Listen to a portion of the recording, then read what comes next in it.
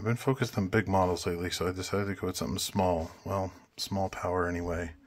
This is powered by four Technic motors, Technic small motors, the angular motors.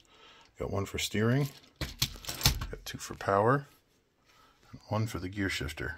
So this is actually a 4x4, full suspension, steered, and with a transmission using only four Technic small motors.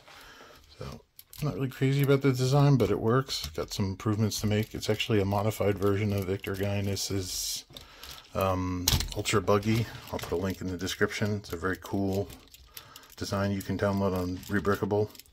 But uh, now for a road test. First gear, second gear, first gear. I think my motors are overheating.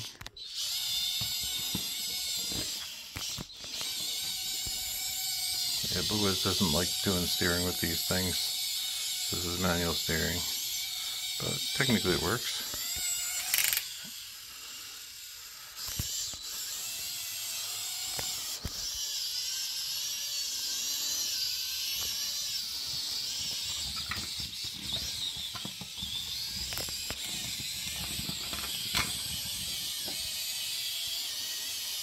Not something I'm going to keep on the shelf, but hey.